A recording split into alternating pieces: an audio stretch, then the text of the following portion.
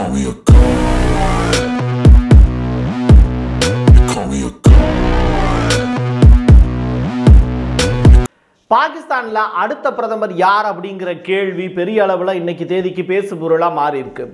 இம்ரான் கானா இல்லை நவாஸ் ஷெரீஃபா இல்லை பிலாவல் பூட்டோவா. இந்த மூணு பேரில் ஒருத்தர் தான் பிரதமர் சீட்டில் வந்து உட்கார போகிறாங்க அப்படிங்கிற பேச்சு அடிபடுது. சரி உண்மையிலேயே இதுக்கான வாய்ப்பு யாருக்கு இருக்குது இதை தாண்டி ஈகோ வெற்றி பெற்றால் இதில் பிரதமராவதற்கு இந்த மூன்று பேருக்குமே வாய்ப்பு இல்லாமல் போகுமா? என்ன கதை பாகிஸ்தானில்? இருபத்தொம்போதாம் தேதி தான் கடைசி நாள். அதுக்குள்ளே முடிவெடுக்கலை அப்படின்னா அங்கே என்ன நடக்க போகுது? இதுதான் இப்போதைக்கு எழுந்திருக்கக்கூடிய மிக முக்கியமான கேள்வி.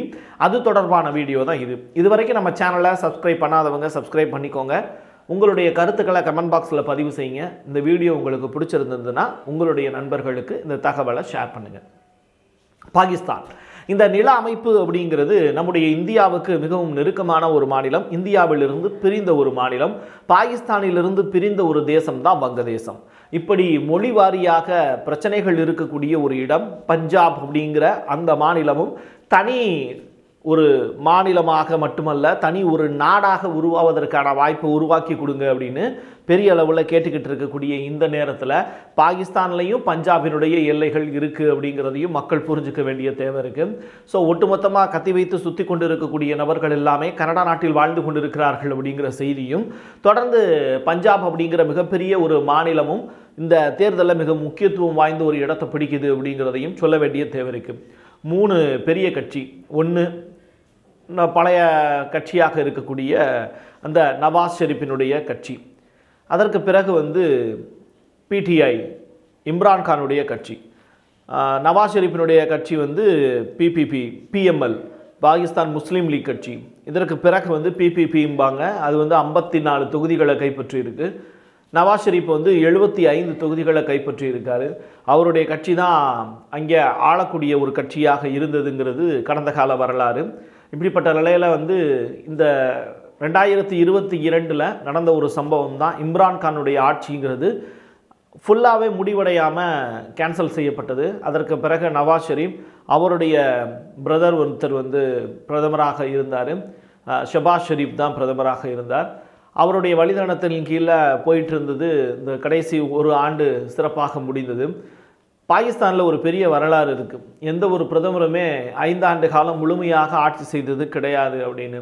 இம்ரான்கானுக்கு செக் வச்ச நிகழ்வு கூட அவர் முழுமையாக ஐந்தாண்டு காலம் ஆட்சி பண்ணிடக்கூடாது அப்படிங்கிறதுக்காக தான். ஸோ பெரிய கட்சிகளுடைய வரிசையில் ஒன்று பிஎம்எல் இன்னொன்று பிடிஐ மூணாவது பிபிபி நாலாவது எம்கியூஎம் அப்படிங்கிற கட்சி. இந்த நாலு கட்சிகளுக்கு எடுத்திருக்கக்கூடிய சீட் அப்படிங்கிறது உங்களுக்கே தெரியும். இம்ரான்கானுக்கு தொண்ணூற்றி மூணு சீட்டில் இருந்து கடைசியாக நூற்றி ஒரு சீட்டு வந்து அவங்களுக்கு ஃபைனல் ஆச்சு.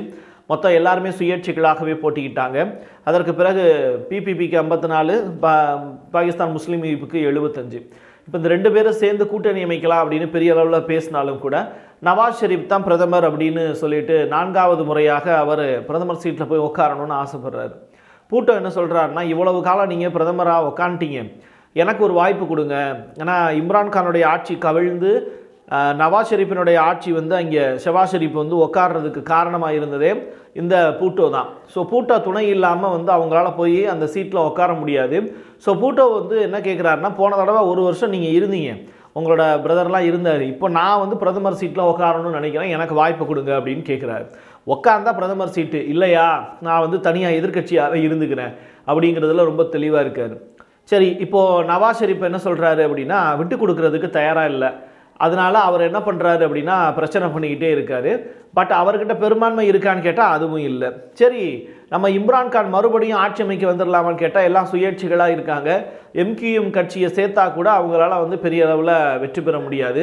ஸோ இங்கே கூட்டணி தொடர்பான பேச்சுவார்த்தை அப்படிங்கிறது தொடர்ந்து நடந்துக்கிட்டு தான் இருக்குது எம்கியூஎம் கட்சியோட பூட்டோ ப்ளஸ் வந்து நவாஸ் ஷெரீப் இவங்க எல்லாம் சேர்ந்து கூட்டணி அமைச்சா அதில் ஆட்சி அமைக்கிறதுக்கான உரிமை கொண முடியும். ஆனால் பிரதமர் சீட்டில் உட்காரக்கூடியது யார் அப்படிங்கிற அந்த இழுபறி நீடிச்சுக்கிட்டே இருக்குது இந்த இடத்துல வந்து இம்ரான்கானும் தொடர்ந்து சில முயற்சிகள் எடுத்துக்கிட்டு இருக்காரு. சின்ன கட்சிகளெல்லாம் ஒருங்கிணைத்து நாங்கள் ஆட்சிக்கு வருவோம் அப்படின்னும் பெரிய போரணிலாம் பேரணிலாம் நடத்திக்கிட்டு இருக்காரு. அது மட்டும் இல்லை உச்சநீதிமன்றத்திலையும் வந்து சில நிலுவையான வழக்குகள் இருக்குது இது தொடர்பான வழக்குகள் வந்து மொத்தம் முப்பத்தைந்துக்கு மேலே ஃபைலாக இருந்தது.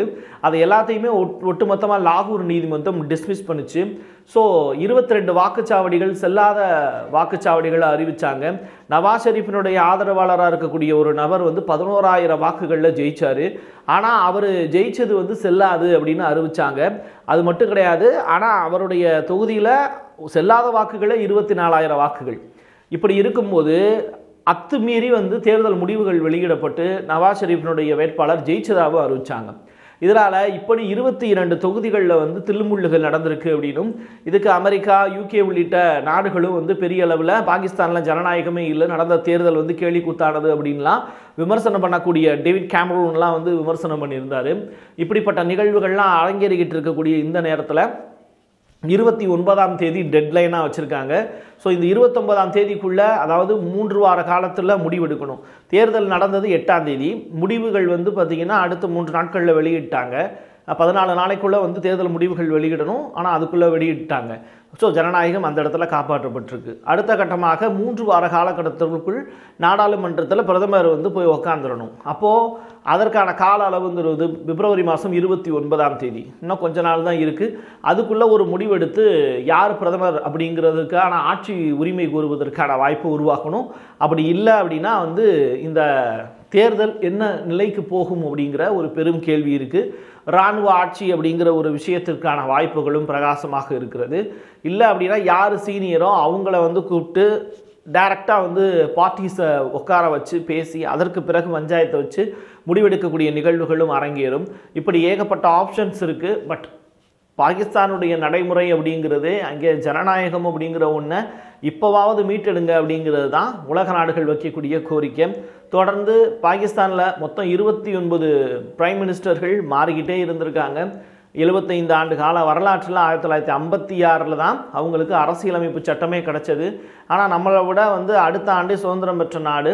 ஆனால் ஐம்பத்தி ஆயிரத்தி தொள்ளாயிரத்தி ஐம்பத்தி ஆறு வரைக்குமே அந்த நாட்டில் ஒரு ஸ்திரத்தன்மையே இல்லாமல் அரசியலமைப்பு சட்டமும் மொழி வாரியாக பிரிக்கக்கூடிய விஷயமும் பெரிய அளவில் பேசு பொருளாக மாறுனது. தேசிய மொழி எது அப்படிங்கிறதுலையும் அங்கே பெரிய அளவில் பிரச்சனைகள் இருந்தது.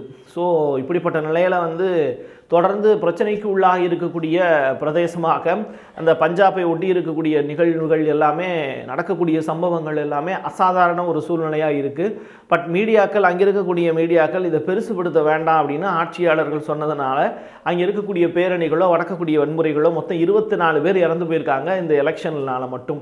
ஸோ இருபத்தி நாலு பேர் இறக்குறாங்க. ஒரு எலெக்ஷனுக்கு இருபத்தி நாலு பேர் இறந்து போகிறது அப்படிங்கிறது ரொம்ப பெரிய இது. ஸோ இப்படிப்பட்ட துர்பாக்கியமான சம்பவங்கள்லாம் அங்கே அரங்கேறுவது தவிர்க்கப்பட வேண்டியது தான் பட் ஜனநாயகத்தை வந்து கட்டி எழுப்பணும் அப்படின்னா இப்படிப்பட்ட நடைமுறைகள்லாம் தேவை. அது கடந்த கால வரலாறுகளில் இப்போ கொஞ்சம் பரவாயில்ல அப்படிங்கிறது தான் பாகிஸ்தானுடைய அந்த ஹிஸ்ட்ரி எடுத்து பார்க்கும்போது நம்மளால் புரிஞ்சுக்க முடியுது.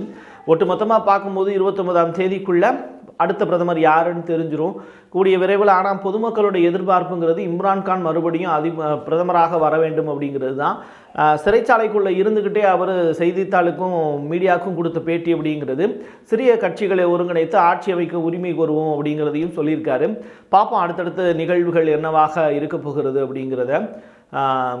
நிச்சயமாக பாகிஸ்தானில் ஜனநாயகம் மலர்வதற்கான வாய்ப்புகளே பிரகாசமாக இருக்கிறது. இராணுவ ஆட்சிக்கான வாய்ப்பில்லை அப்படிங்கிறது தான் அங்கிருந்து நமக்கு கிடைக்கக்கூடிய பிடிஎஸ் செய்திகள் சொல்லுது. என் கையெழுத்து என் மக்களுக்கானது. மீண்டும் ஒரு பதிவில் சந்திக்கலாம். நன்றி வணக்கம்.